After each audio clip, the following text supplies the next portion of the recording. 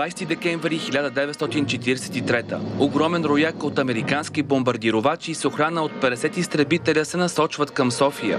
Отбранявайки небето над столицата в първия си и последен боен полет у нас, Списаревски сваля летящата крепост. Лютата съпротива отблъсква врага и бомбардировачите не успяват да пуснат смъртоносния си товар над София.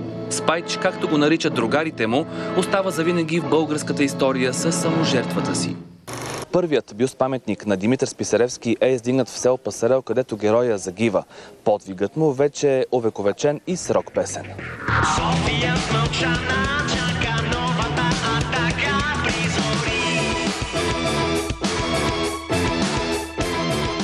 25-годишните момчета от Стерео Ръж не случайно създават песента Звезда над София. Идеята им е да издигнат музикален паметник за живата турпила.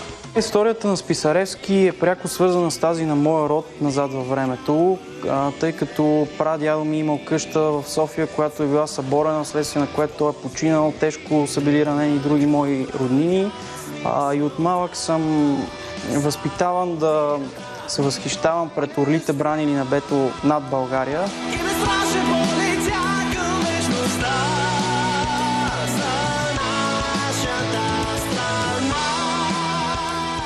Това е един а, много велик герой, за който не чак толкова много хора са чували и ние се опитаме да популяризираме неговото дело.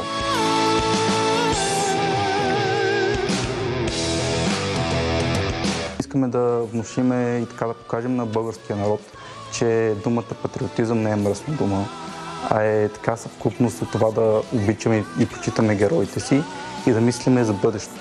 Песента можем да видим в социалните мрежи VBOX 7 и YouTube.